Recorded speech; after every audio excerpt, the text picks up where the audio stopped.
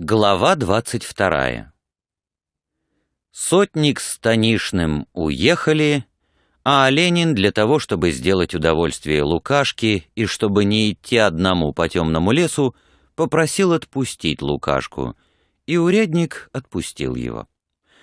А Ленин думал, что Лукашке хочется видеть Марьянку и вообще был рад товариществу такого приятного на вид и разговорчивого казака. Лукашка и Марьянка невольно соединялись в его воображении, и он находил удовольствие думать о них. «Он любит Марьяну», — думал себе Оленин, — «а я мог бы любить ее». И какое-то сильное и новое для него чувство умиления овладевало им, в то время как они шли домой по темному лесу. Лукашке тоже было весело на душе. Что-то похожее на любовь чувствовалось между этими двумя столь различными молодыми людьми. Всякий раз, как они взглядывали друг на друга, им хотелось смеяться. «Тебе в какие ворота?» — спросил Оленин. «Средние. Да я вас провожу до болота, там уж вы не бойтесь ничего». Оленин засмеялся. «Да разве я боюсь? Ступай назад, благодарствую, я один дойду». «Ничего, а мне что ж делать? Как вам не бояться?» «И мы боимся», — сказал Лукашка, тоже смеясь и успокоивая его самолюбие. «Ты ко мне зайди, поговорим, выпьем, а утром ступай». «Разве я места не найду, где ночку ночевать?» — засмеялся Лукашка. «Да урядник просил прийти». «Я вчера слышал, ты песни пел, и еще тебя видел. «Все люди», — и Лука покачал головой. «Что, ты женишься, правда?» — спросил Оленин. «Матушка женить хочет, да еще и коня нет». «Ты не строевой?» «Где ж? Только собрался. Еще коня нет, а раздобыться негде, оттого и не женят». «А сколько конь стоит?» «Торговали на медне одного за рекой, так шестьдесят монетов не берут» а конь нагайский. Пойдешь ты ко мне в драбанты. В походе драбант есть нечто вроде вестового, которых давали офицерам. «Я тебя выхлопочу и коня тебе подарю», — вдруг сказал Оленин. «Право, у меня два, мне не нужно». «Как не нужно?» — смеясь сказал Лукашка. «Что вам дарить?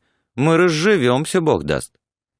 «Право, «Или не пойдешь в Драбанты», — сказал Ленин, радуясь тому, что ему пришло в голову подарить коня Лукашке. Ему, однако, от чего-то неловко и совестно было. Он искал и не знал, что сказать. Лукашка первый прервал молчание. «Что, у вас в России дом есть свой?» — спросил он. А Ленин не мог удержаться, чтобы не рассказать, что у него не только один дом, но и несколько домов есть. «Хороший дом, больше наших?» — добродушно спросил Лукашка. «Много больше.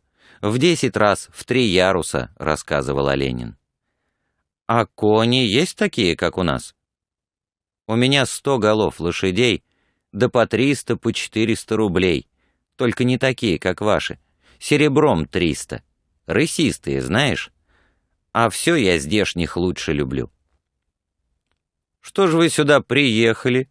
Волей или неволей?» — спросил Лукашка, все как будто посмеиваясь. «Вот вы где заплутались», — прибавил он, указывая на дорожку, мимо которой они проходили. «Вам бы надо вправо». «Так, по своей охоте», — отвечал Оленин. «Хотелось посмотреть ваши места, в походах походить. «Сходил бы в поход нынче», — сказал Лука. «Ишь, чакалки воют», — прибавил он, прислушиваясь. «Да что, тебе не страшно, что ты человека убил?» — спросил Оленин. «Чего ж бояться?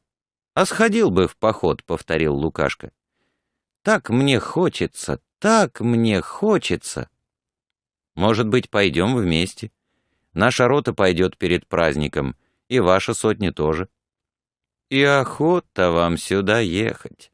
Дом есть, кони есть, и холопы есть. Я бы гулял да гулял. Что вы чин какой имеете? Я юнкер, а теперь представлен. Ну, коли не хвастаете, что житье у вас такое, и я из дома никуда бы не уехал. Да я и так никуда бы не уехал. Хорошо у нас жить? Да, очень хорошо, сказал Ленин. Уже было совсем темно, когда они, разговаривая таким образом, подходили к станице. Еще их окружал темный мрак леса. Ветер высоко гудел в вершинах.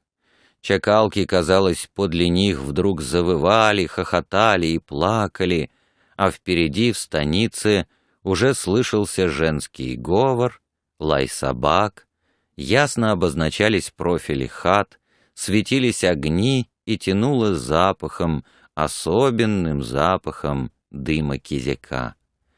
Так и чувствовалось Оленину, особенно в этот вечер, что тут, в станице, его дом, его семья, все его счастье, и что никогда нигде он не жил и жить не будет так счастливо, как в этой станице.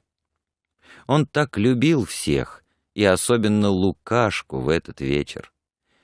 Придя домой, Оленин, к великому удивлению Лукашки, сам вывел из клети купленную им в Грозной, не ту, на которой он всегда ездил, но другую, не дурную, хотя и не молодую лошадь, и отдал ему. «За что вам меня дарить?» — сказал Лукашка. «Я вам еще не услужил ничем».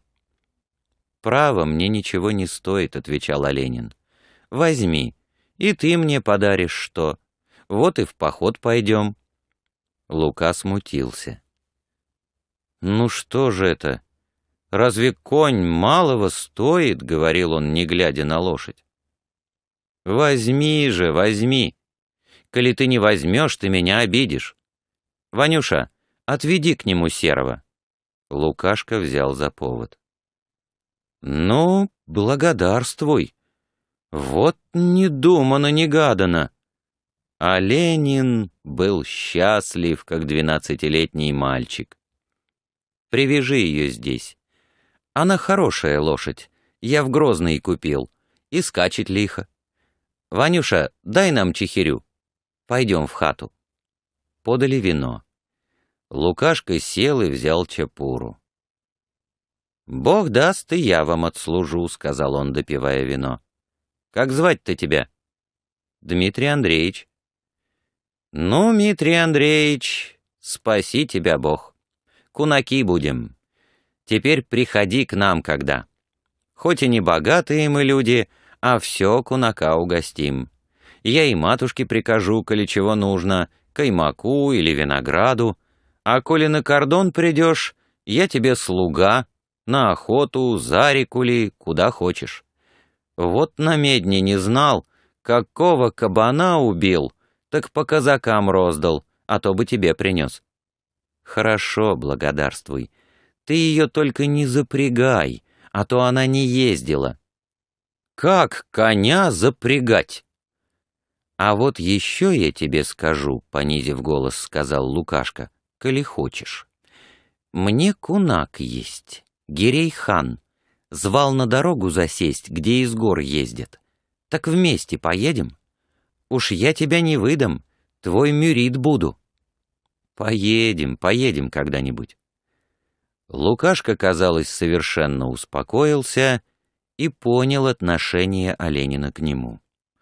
Его спокойствие и простота обращения удивили Оленина и были даже немного неприятны ему. Они долго беседовали, и уже поздно Лукашка, не пьяный, он никогда не бывал пьян, но много выпивший, пожав Оленину руку, вышел от него. Оленин выглянул в окно посмотреть, что он будет делать, выйдя от него. Лукашка шел тихо, опустив голову вниз. Потом, выведя коня за ворота, вдруг встряхнул головой, кошка вскочил на него, перекинул повод недоустка и, гикнув, закатился вдоль по улице. А Ленин думал, что он пойдет поделиться своей радостью с Марьянкой, но, несмотря на то, что Лука этого не сделал, ему было так хорошо на душе, как никогда в мире. Он как мальчик радовался и не мог удержаться, чтобы не рассказать Ванюше не только то, что он подарил лошадь Луке, но и зачем подарил, и всю свою новую теорию счастья. Ванюша не одобрил этой теории и объявил, что «ларжан иль ньяпа» денег нет, искаженное французское, и потому все это пустяки. Лукашка забежал домой, соскочил с коня и отдал его матери, наказав пустить его в казачий табун. Сам же он в ту же ночь должен был вернуться на кордон. Немая взялась свести коня и знаками показывала, что она, как увидит человека, который подарил лошадь, так и поклонится ему в ноги. Старуха только покачала головой на рассказ сына и в душе порешила, что Лукашка украл лошадь, и потому приказала немой вести коня в табун еще до света. Лукашка пошел один на кордон и все раздумывал о поступке Оленина. Хотя конь и не хорош был, по его мнению, однако стоил, по крайней мере, сорок монетов, и Лукашка был очень рад подарку. Но зачем был сделан этот подарок, этого он не мог понять, и потому не испытывал ни малейшего чувства благодарности. Напротив, в голове его бродили неясные подозрения в дурных умыслах юнкера. В чем состояли эти умыслы, он не мог дать себе отчета, но и допустить мысль, что так, ни за что, по доброте, незнакомый человек подарил ему лошадь в сорок монетов, ему казалось невозможно. Коли бы пьяный был, тогда бы еще понятно было, хотел покуражиться.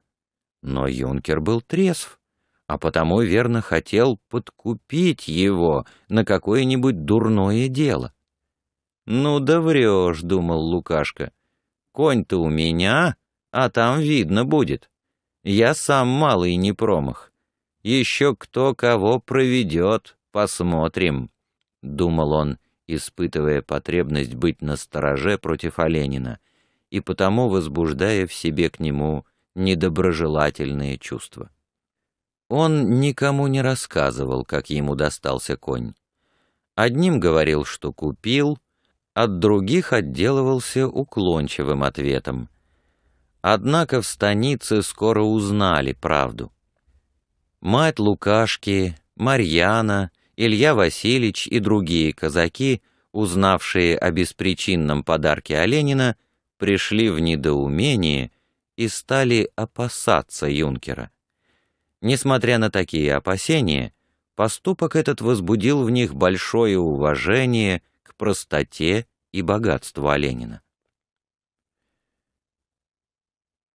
«Слышь, Лукашки коня в пятьдесят монетов бросил юнкерь-то, что у Ильи Васильевича стоит», — говорил один. «Богач». «Слыхал», — отвечал другой глубокомысленно. Должно, услужил ему. Поглядим, поглядим, что из него будет. Эка урвану счастье. Экой народ продувной из юнкерей, беда, — говорил третий. Как раз подожжет или что,